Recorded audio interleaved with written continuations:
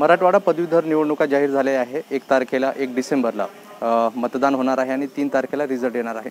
या निवडणुका रा- नेहमीप्रमाणे राष्ट्रवादी आणि भाजपमध्ये होणार आहे. मात्र यावेळेस महाविकास आघाडी असल्यामुळे काँग्रेस आणि से शिवसेना हे सुद्धा राष्ट्रवादीसोबत असणार असं जवळपास चित्र निर्माण झालं आहे माझ्यासोबत यावर बोलायला भाजपचे शिरीष बोवाळकर आहेत.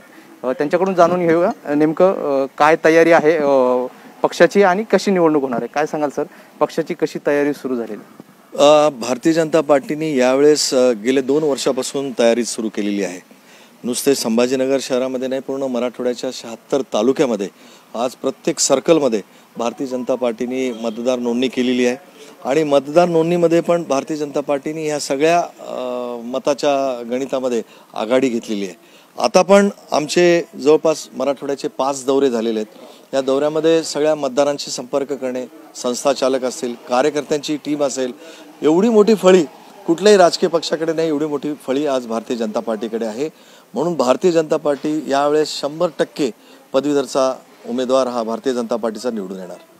त्यावेळेस आता महाविकास आघाडी असणार आहे. त्यामुळे शिवसेना आणि काँग्रेस सुद्धा राष्ट्रवादी सोबत असणार आहे.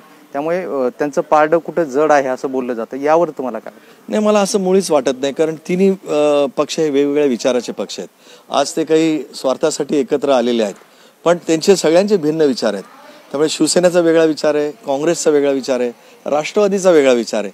त्यामुळे मला असं वाटत नाही हा पदवीधर मतदार आहे. हा सुज्ञ आहे वैचारिक काही बांधिलकी ठेवणारा हा मतदार आहे. त्यामुळे मतदार हा योग्य ती योग्य रीतीनेच तो मतदान करेल. आपल्याला दिसलंय की लोकसभेमध्ये विधानसभेमध्ये ज्या प्रकारे मोदींकडे पाहून आणि मोदींच्या विचाराला पाहून भारतीय जनता पार्टीला भर भरून मतदारांनी मतदान केलंय हा सगळा मतदार यामध्ये आहे. गेल्या कित्येक दिवसापासून मराठवाड्यात म्हणजे बारा पंधरा वर्ष झाले. निवडणूक होतात त्यानंतर उमेदवार कुठे दिसत नाही. आता मराठवाड्यात हजारो तरुण दरवर्षी विद्यापीठातून बाहेर पडतात. पण त्यांचा रोजगारीचा मूळ प्रश्न आहे याकडे तुम्ही कसं बघता? नाही अत्यंत खरा आणि खूप महत्त्वाचा विषय आपण संभाजीनगरमध्ये आपण राहतो एवढं मोठं इथे औद्योगिकरण आहे. पण ज्या प्रकारे या औरंगाबाद शहराकडे मराठवाड्याचे युवक पाहतात त्यांना त्याप्रमाणे इथे रोजगार मिळत नाही.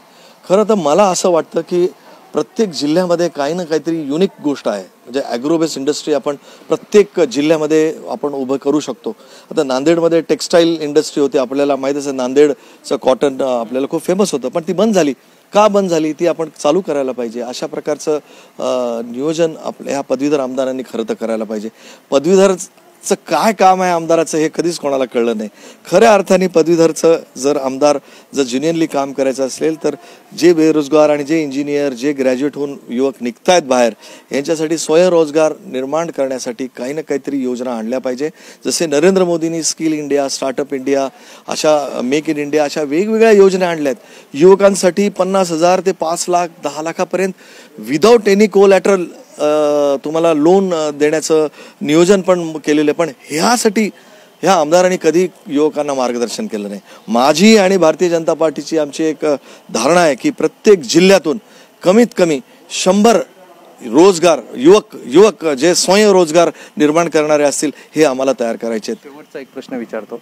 भाजपची उमेदवारी अजून जाहीर झालेली नाही. तुमचं पण नाव चर्चेत आहे. का रस्सीखेच कुठेतरी सुरू आहे असंही बोललं जात आहे काय सांगाल? नाही नाही. भारतीय जनता पार्टीमध्ये सगळे आम्ही एकच विचाराने काम करतो. त्यामुळे तिकीट मागण्याचा अधिकार हा सगळ्या कार्यकर्त्यांना आहे. म्हणजे तिकीट रस्सी रस्सीखेच होणं हे खरंच चांगलं हेल्दी लक्षण आहे. की इथे खूप चांगले काम करणारे कार्यकर्ते आहेत म्हणूनच अशी रस्सीखेच होतीये. अशी रस्सीखेच दुसऱ्या पक्षात दिसतच नाही कारण कोणीच काम करत नाही. इथे खूप चांगले कार्यकर्ते आहेत आणि सगळ्या कार्यकर्त्यांना वाटतं की मला तिकीट मिळावं. याच्यात काही गैर नाही.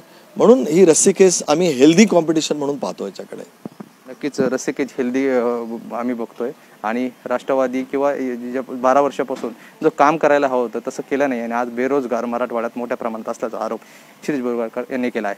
औरंगाबादहून मोहसिन शेख मॅक्स महाराष्ट्र.